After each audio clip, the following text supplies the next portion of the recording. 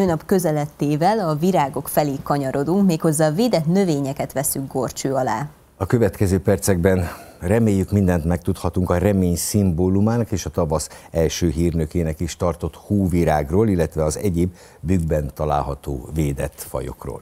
Ebben Súlyok József, a Bükki Nemzeti Park igazgatóság munkatársa siet segítségünkre. Köszöntjük a stúdióban. Jó estét kívánok, köszönjük, hogy eljöttél hozzánk. Mettől meddig virágzik a hóvirág, és egyáltalán mely területeken lehet fellelni? A hóvirág egy nagyon érdekes növény olyan szempontból, hogy a legelső tavaszi növények közé tartozik. Sokszor hívják geofitának is. Ez azt jelenti, hogy olyan hagymás gumós képlettel rendelkezik a talajban, amiben elég sok tápanyagot halmoz föl, és már ősszel felkészül a tavaszi virágzásra, mert ugyanis a virágrügyek megjelennek rögtön ősszel a hagymáknak a, a csúcsán, és ott várakoznak így, mint hogyha a tavasz első pillanatát várnak, és szinte ugrásszerűen azonnal megjelennek, mihelyt egy kicsit a talaj elkezd kiengedni a, a fagy hatása alól. Tehát ezért van az sokszor, hogy ha nagyon enyhe az idő, akkor már van, hogy december végén, január elején is Igen. sokszor megjelennek a hóvirágok, és elsősorban egyébként a mediterrán fajok hiszen azokat is ültetik egerbe, és nem biztos, hogy a mi hóvirágunkkal találkozunk ilyenkor, hanem, hanem a közelrokon fajokkal. De már most azt lehet mondani, hogy most viszont már nagyon szépen nyílik a műkben.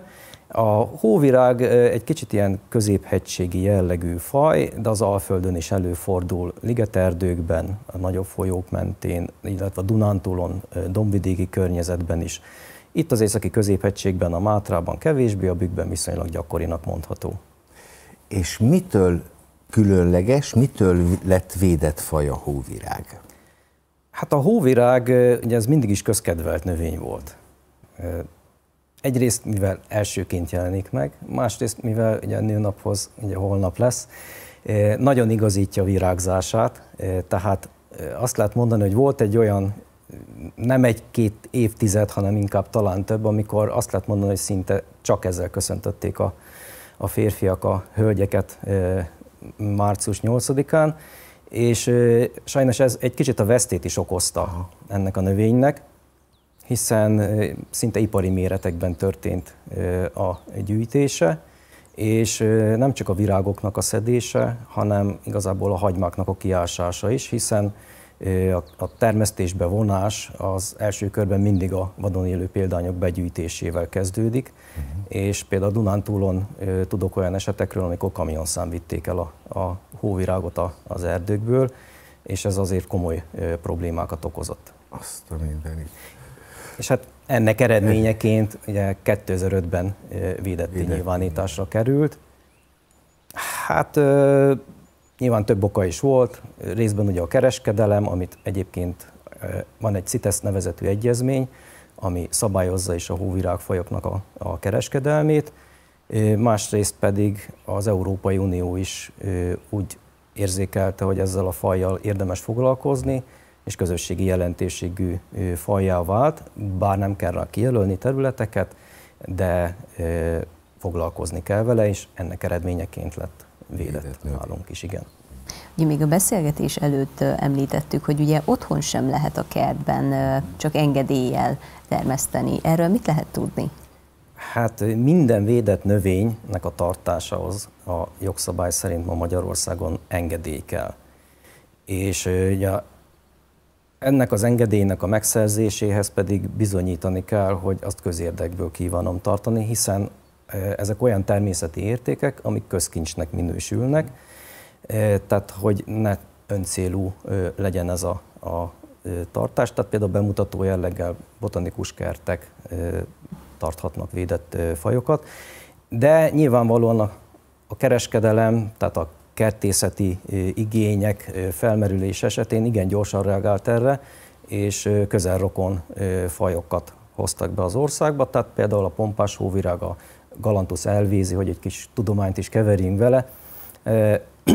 Megjelent a hazai forgalomban, vagy van egy másik a mi hóvirágunkhoz nagyon hasonló faj, a Galantus plicata, ami megint csak kapható, és ezek kicsit még talán dekoratívabbak is, mert nagyobbak, nagyobb virágaik vannak, kicsit korábban nyílnak, és ezek terjedtek el. Tehát igazából az alap hóvirágunk, a Galanthus nivalis, az, az megmaradt az erdőben, és szerintem jó helyen is van ott, tökéletesen jó jól érzi magát. Ha valaki meg szeretne, akkor tudja pótolni majdnem hasonló nem kell messzire menni, hogy valaki lásson nagy hóvirágmezőket, tehát itt a környéken lehet benne gyönyörködni, le lehet fotózni.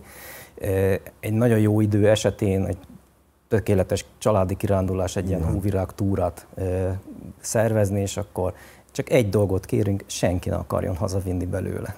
És ne is tapossuk le, figyeljünk Igen. oda mindenképpen. Ugye beszéltünk arról, hogy védett virág, és mint védett fajnak van egy eszmei értéke. Azt azért mondjuk el, hogy ennek a virágnak mennyi az eszmei értéke. Hát igen, ez 10 ezer forint. 10 ezer forint. Tehát az azt jelenti, hogy ha valaki mégis arra vetemedik, hogy szed belőle egy csokorral, akkor igen gyorsan átlépi a bűncselekmény kategóriába, és akkor bizony rendőrségi eljárást lehet ellene, illetve kell is ellene indítani. Éppen ezért meggondolandó tényleg, hogy leszedjük el, de nyilván ez egy elrettentő Világos. szándék. Világos. Igazából azt kell megtanulni, és mi azt is kérjük a látogatóktól, hogy mindent meg szabad nézni, de lehetőleg semmiben ne tegyünk kárt. Mindent a szemnek szoktuk Mindent mondani. a szemnek, Így pontosan. Van. Az elmúlt évek, évtizedek tapasztalatai alapján azért gondolom nem sokan mennek már csokrot szedni az erdőbe. Igen, azért a, a hóvirág az egy, egy speciális eset volt a védett nyilvánítás kapcsán, hiszen egy, egy bevett társadalmi szokást kellett átalakítani, éppen ezért indult is akkor egy kampány rögtön, hogy ajándékoz mosolyt hóvirág helyett, és én úgy hiszem, hogy talán ez jó sikerült, hiszen az utóbbi mm, jó néhány évben, vagy évtized, az utóbbi évtizedben már nem nagyon volt jellemző, hogy találkoztunk volna akár hóvirággyűjtőkkel, akár hóvirágárusokkal, az egri piacon rendszeres volt egyébként. Tehát én azt hiszem, hogy ez elérte célját, és én úgy gondolom, hogy, hogy közben a, a látogatók is rájöttek arra, hogy sokkal könnyebb a mobiltelefonnal egy jó fotót készíteni, és azt elküldeni valakinek, mint azt, hogy ö, leszedjük a virágot, és mire hazaérünk, többnyire már elhervad, vagy már is dobjuk. Tehát igazából a, a fénykép viszont örökre megmarad. Örökre megmarad, és hát minden ott szép, ahol van és terem szerintem. Igen. Beszéljünk még arról egy kicsit, ugye említettük, hogy a bükkben azért elég komoly lelőhely van hóvirágból, ha lehet így fogalmazni. Milyen védett növények vannak még? Hú, hát ezeknek a köre elég széles. Uh-huh. Ami bizonyos szempontból egy, egy sajnálatos gond is. Hiszen, hogyha nagyon sok a védett növényeknek a köre az azt veszíti előre, hogy sajnos a hazai élőhelyek állapota nem túl jó.